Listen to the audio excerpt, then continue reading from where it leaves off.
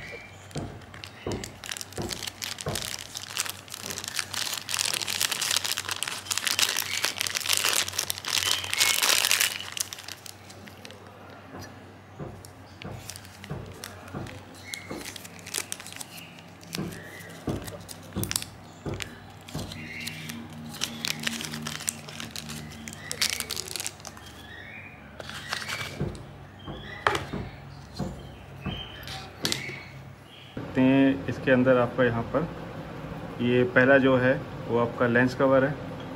जैसे कि मैं आपको बता देता हूँ कि इसके अंदर ये लेंस कवर है। इसके बाद आप देख सकते हैं यहाँ पर, ये जो है आपका वाइड एंगल लेंस है। ओके और फिर आपका एक मैक्रो है मैक्रो लेंस फिर अडेप्टर की रिंग है, और फिर फाइनली आपका रे लेंस है, का कवर है। तो ये सब मैं आपको बता दूँगा।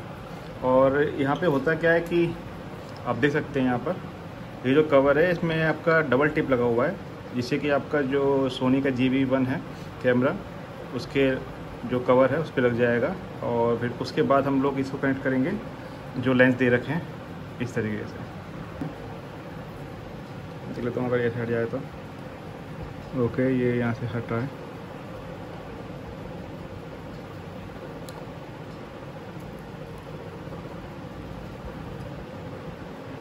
ओके उसके बाद आप देख सकते हैं यहाँ पर कि मैं इसको ये बहुत ही ज़्यादा स्टिकी है। तो मैं इसको ऐसे लगाता हूँ इसे कि ये ऑलमोस्ट सभी जगह से सिमेट्रिकल रहे। सॉरी ये काफ़ी ज़्यादा स्टिकी है।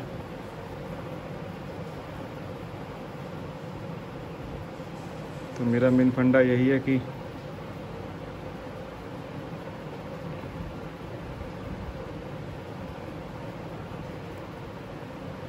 आई थिंक ये ऑलमोस्ट सिमेट्रिकल लग रहा है। आप देख सकते हैं यहाँ पे, ये बहुत ही ज़्यादा स्टिकी था सीरियसली और अगर मान लीजिए मैं इसको बंद भी करता हूँ तो मैं चेक कर लेता हूँ, मैं कैसे काम दिखता है ये।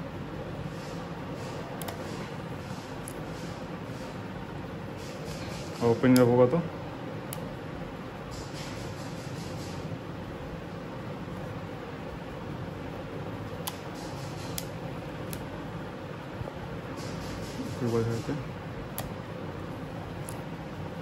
ये बंद हो गया।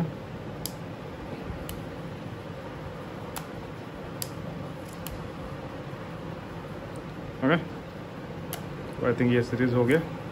अब मेन बात यहाँ पर ये कि सिमेट्रिकल होना चाहिए जिससे कि आपको ये दिक्कत ना करे अब देखते हैं ये ऑलमोस्ट सिमेट्रिकल ही है चारों तरफ़ सर्किल तो मैंने तो आपको शो किया हुआ है तो थोड़ा आगे सोचता है कि अनसिमेट्रिकल हो जाए।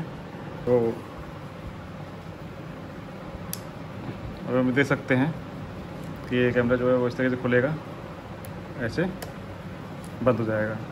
अभी मेन क्या था, ऐसे मैंने आपको बताया था कि जो ये लेंस था, इसके दो कवर हैं। पहला फ्रंट जो कि आपने बहुत सारे कैमरों में देखा होगा तो वो ऐसे रिमूव हो जाता है और इस तरह दिखता है। अरे, और सेकंड कौन सा लेंस है? जो कि रेयर का है।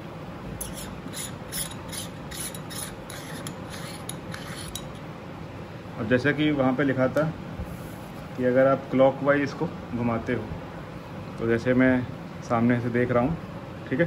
तो मेरे लिए क्लॉकवाइज जो है, वो आपका ऐसे होगा। अब मैं इसको ऐसे घुमाते आऊँगा यहाँ पर तो आप देख सकते हो, ये फुल्ली टाइट हो गया यहाँ पर। और अगर मुझे काउंटर पर घुमाऊँगा तो मैं, मेरा जो वाइड एंगल लेंस वाला जो पूरा कवर है तो पूरा निकल आएगा। इस तरीके से, और इस समय इसमें मैक्रो वाला फिट हो चुका है। होपफुली आपको सबको समझ में आ रहा होगा। तो आप देख सकते हो यहाँ पर ये फिंगर वैसे इतनी दूर है और यहाँ पे ऐसे कैसे लग रही है? तो और ये आपका वाइड एंगल लेंस है। तो इन सब की मैं अभी आपको दिखा दूँगा आपको कि फाइनल जो आउटपुट है, वो कैसे आता है।